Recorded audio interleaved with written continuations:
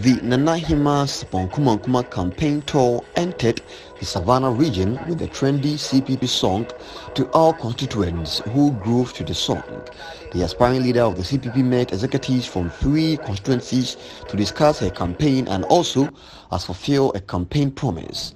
Nana Hima inaugurated the new party office in Damongo constituency. The regional organizer, Comrade Habib Mohammed, thanked her and the team blessed her campaign.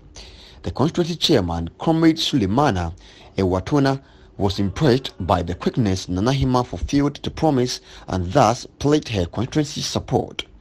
Uh, we, we receive a lot of uh, people, uh, so many uh, participants came to us.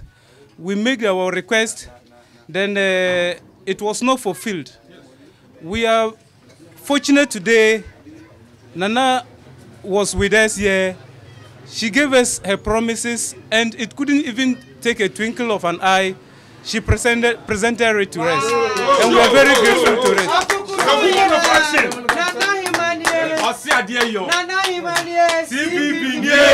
Nana Hima cut sword in the name of God, used the moment to usher CPP into a new era amidst jubilant chants from supporters. We are doing this in the name of the Father, the Son, and the Holy Spirit.